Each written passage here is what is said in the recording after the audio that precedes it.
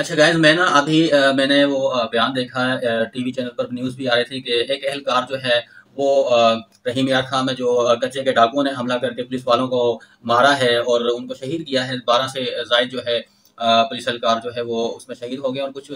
زخمی جو ہو گئے ہیں، وہ بچنے والے جو زخمی ہو گئے تو ان میں سے جب ریسکیو ٹیم جو ہے نا، ان کو ریسکیو کر رہی تھی، تو ایک اہلکار نے باقاعدہ طور پر جو ہے نا، یہ کہا کہ مجھے بچا لیں، ورنہ میرے بچے رل جائیں گے۔ یہ جملہ ایسا جملہ ہے کہ ہر دل کو جو ہے نا اس جملے نے چیر دیا ہے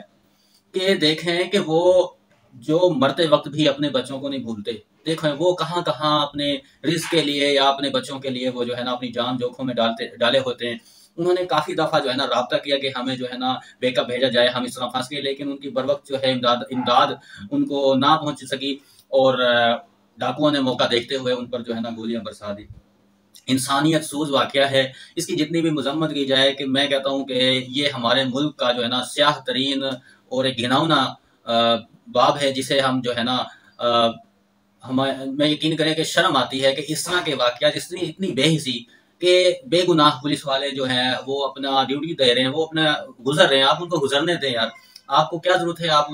یہ ہے دہشت گردی تو۔ اصل کیا ہماری جو ادارے ہیں، ہماری جو افواج ہیں یا جو کہ ایک جو امیر زادی کو بچانے کے لیے تو پانچ منٹ نہیں لگاتے دو منٹ میں وہاں پر وہ جو ہے